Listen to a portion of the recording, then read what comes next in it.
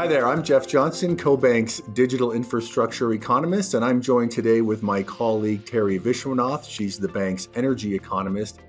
And Teri and I are going to talk about an interesting situation happening in Ohio uh, regarding a data center rate settlement case. You may be aware that in Ohio, there is a very public and protracted dispute going on between one of the country's largest utilities, AEP, and the hyperscale operators. So think about Amazon, Microsoft, Meta, and Google. And, and this, this dispute revolves around what represents a data center's fair share of the payments needed for system upgrades to facilitate power supply in Ohio. As a starting point, Teri, talk about why this particular rate dispute and the various components of a possible settlement are important for our respective industries to take note of. Hey, Jeff. The Ohio dispute is amongst the regulatory battles that are going going on right now, and it may set precedent for how the U.S. power industry addresses data center electricity demand. Interesting. So, hey, let's take a, a closer look at Ohio and, and just see how this accelerated data center demand is impacting the state. So, according to AEP, data center demand in Ohio increased sixfold by 2020 to 2024. So it went from 100 to 600 megawatts. And this demand growth is really just getting started. There are 50 pending requests from data center customers seeking electric service at more than 90 sites. So, so this could represent upwards of 30,000 megawatts of additional load. That's enough to power 20 million households. And that additional demand would more than triple the utility's previous peak load in 2023. Yeah, that's right, Jeff. So AEP took the time, they filed their original uh, submission uh, with Ohio's regulators back in May of this year. So, sort of what they wanted the this new class of customers. They actually identified two up front, but new class of customers, data center customers, and what they would have to pay that's really interesting and it, it actually makes a lot of sense. But hey, Teri, kind of walk us through that filing in a little bit more detail because I think I think you're onto something there. Yeah, you know, when they first came out, this was May of this year, the filing was relatively sparse. And so here's the way it goes is that um, you know, the the ability to serve uh, the customers of Ohio, um, they have to file, you know, a, a rate proceeding with the regulators. And so they did that and it was relatively sparse. And then there's an opportunity for stakeholder comment. And so that stakeholder comment took place. It was scheduled original comments by by June 25th and then an opportunity to respond to those comments by July 8th. Now that's all normal. That's the way it normally works. And then something profoundly unusual happened. A separate filing. Now the filing comes out from Microsoft Alphabet, that's Google's parent, Meta and Amazon and other data center firms. They, prefer, they proposed an alternate rate filing on what they were prepared to pay AEP. And they called that submission a settlement. Um, and what was really interesting is, is that on this proposal, this rate proposal, uh, which was much more complete than the original sparse one, um, there were signatures from Amazon, Microsoft, Google, Meta, a consortium of other data center owners, Retail Energy Supply Association, the manufacturers in the state, and a few, interesting enough, electricity suppliers uh, that appeared to have were granted standing in the case, such as Constellation. But really important, Jeff, the signature that was missing was actually AEP's utility that actually is a party um, and supposed to be actually owning the process.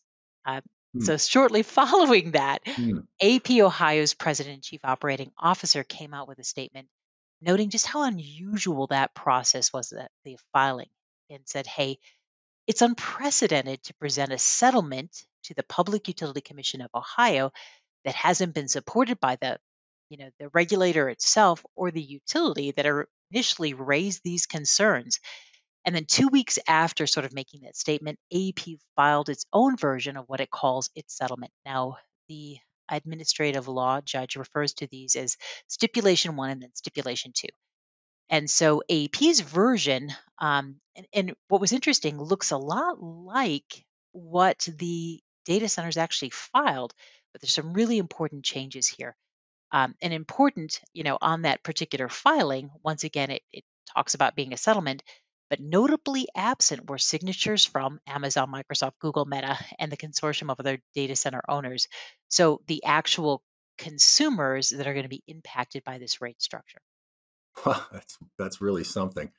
Uh, pretty unusual, I'm sure, uh, for folks in Ohio. But but Teri, you you mentioned that there were some important uh, provisions that both of these I don't know, I guess we'll call them settlements. I guess they're really not, but settlements and quotations, some important pr- provisions that they had in common. So maybe you can kind of help us understand and walk us through elements of AEP's filing. Absolutely. So I, I do think this is important. We need to take, um, you know, we need to take stock of of what appeared in this last filing by AEP. Now, most importantly, um, they start off with establishing this new customer classification. They just came back and settled on one term. It's called data centers, and it's data centers of size, meaning these data centers are going to have loads that are going to be 25 megawatts or greater. Now, you would think that deciding who was going to be impact, impacted by this, this rate case proceeding would not be a contentious part of, of the filing process. But as it turns out, it actually is the data center customers, you know, at the heart of this this case, you know, actually want to be treated like any other um, commercial or industrial C&I account. And they wanted the threshold to be a little higher. They wanted to be 50 megawatts. They thought that that was the threshold that would actually trigger these sort of system costs. Um, and they also wanted an important stipulation here. They also wanted to make sure that, hey, their relative size um, they wanted to have AEP in order to be part of the rate filing or this rate case. They also wanted to say, hey, AEP, you've got to prove that we're actually causing a transmission constraint, meaning we're imposing cost onto others simply by the size and, and us showing up on the scene. And uh, you know, they also didn't want to have, you know, they they thought the special treatment. So in terms of being even called data centers. So they wanted sort of a classification to be energy intensive customers. That doesn't appear in the filing. So starting off, just agreeing to who's actually covered by this rate case. Important. Um, the second part is that they wanted to have a uniform sign up process for these data centers. Now, this is important. And we kind of agree on in, in terms of the data centers that would be covered by this. You know, they've been in this moratorium, this data center queue, if you will. And so to get yourself out of the process, we start with there's a five step process. The first of which is there's going to be a cost of service study for which you, data center, will have to pay. And and so here there seems to be agreement, but AEP gives sort of a wide range of cost for that study, saying it's going to be somewhere between 10,000 and a hundred thousand dollars. And as you would imagine, the data center said, well, We'd prefer to have the lower end of that mm, range, so they wanted to set it right at a flat no 10,000.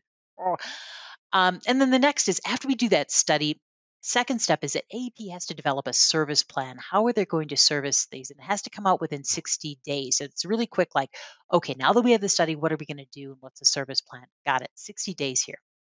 And then third, AEP is going to present the data center, the customer here with a letter of agreement and including the requirement that the the data center has to pay 100% of the cost of service, the distribution lines, and then an outline contribution in aid of construction fee schedule, which will be the infrastructure required. And so that's sort of set out. Um, and then also like the electric service agreement that'll run for a period of at least 10 upward to 12 years. So that's what is handed to the customer. The customer has 60 days, step four, to sign off or risk getting be, being placed back in that queue and, and waiting. And then finally, energizing that data center will occur. Now, notably here, and this is a problem, all of the costs are paid up front, but we don't know the timing of this, and, and that's that's a that's a bit problematic. The affiliate filing also includes a demand charge. It's 85% of their contract capacity, so their their needs. Um, defines a load ramp parameter, so kind of take or pay provisions over a four year period establishes behind the meter generation limits and requirements and then limits the contract assignment so you can get out of this sort of sort of we've got 25% of the the capacity in which you can actually assign to another data center so those are some of the provisions that that are outlined that I think are important for us to consider. Well, listen, great job summarizing all those. There's a lot of sort of meat on the bone, so to speak, uh, that they've come up with. So, uh, great job uh, walking through that. But Teri, let's let's talk a little bit about the the demand charge and the load ramp schedule because I think those are a couple of terms that, for those who aren't living and breathing uh, this industry every day, you know, they might not appreciate the nuances between those two. So maybe you could just spend a couple of minutes kind of drilling down a little bit deeper on those two particular areas. Yeah, no problem. So, Jeff, the demand charge is really a fee and it's added to an electricity bill, typically for a C&I account. And it's typically a look back. We look at the highest amount of power used at any, any single point in time during a billing cycle. It's really a system charge that we're going to be there. You know, the capacity, the, the system's going to be there when you need it. And we're going to have a fee to make sure that we are there. It's a, we consider it sort of a capacity charge um, in the wholesale markets. And then the load is as it sounds, it's it's the electricity you use. But in this case, you know, Jeff, we don't want to commit to you. So if you say that you are going to be a 500 megawatt data center, you know, and and we have, you know, we're going to charge you for the, as I mentioned, uh, in this case, 85% is, is the demand charge here for the capacity. Um, but we also want to make sure that load shows up when you say it's going to show up. So in year one, uh, under this agreement, um, you know, we want to make sure that that you're going to pay, um, you know, at least 50% of the load. It's 500, 250 actually shows up in year one, 50%. Year two, it's 65%. Year three, it's 80, and year four, 90%. Now, the data center uh, stipulation um, or proposal landed at the 90% at year four, but the scale was was a little bit more generous. Only 30% of the load had to show up in year one, 50% year two, etc. So a little difference on the load schedule there. And then Teri, you also mentioned some provisions regarding behind the meter generation. So maybe you could walk us through, you know, what that looks like.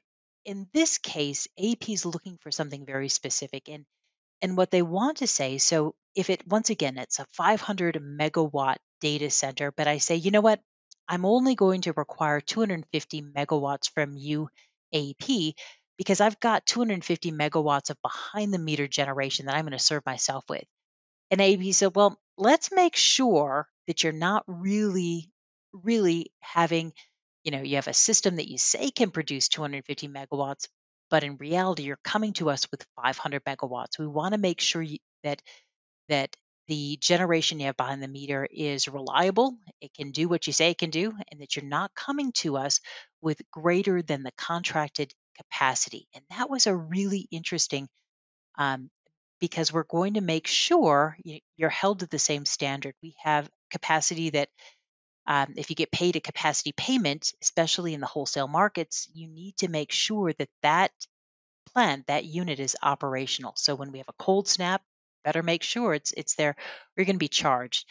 In this case, that provision, a wholesale um, ISO type of provision, is moving downstream and is now, um, you know, now the utility is looking for the customer's generation to be there in a reliable manner as it would be required uh, in its you know as as it participates in an ISO. I mean, so w- where do we go from here? I mean, we've got these sort of dueling settlement filings in front of us, and and what's next? The PUC will then take a look um, and decide whether to deny, grant, or alter, you know, the um, these filings. So hopefully by the end of the year, we'll actually have a rate filing.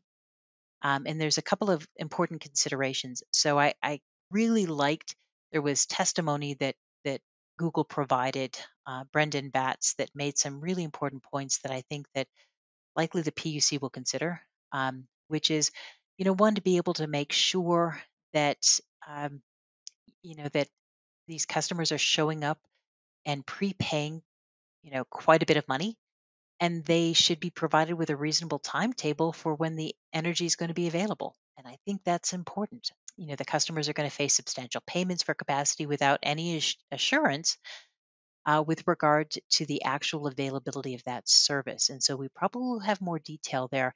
Another point is that, um, you know, the concern that, you know, do we have a discriminatory focus on on data centers? So I think that this idea of energy intensive customers, but you know, Jeff, I have to be honest with you, what other energy intensive customer in Ohio is showing up and requesting 30 gigawatts of electricity, right?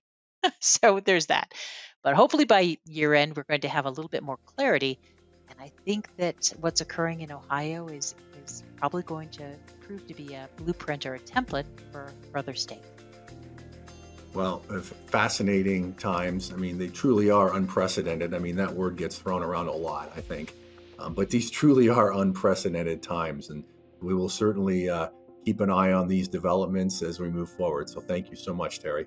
Yeah, my pleasure.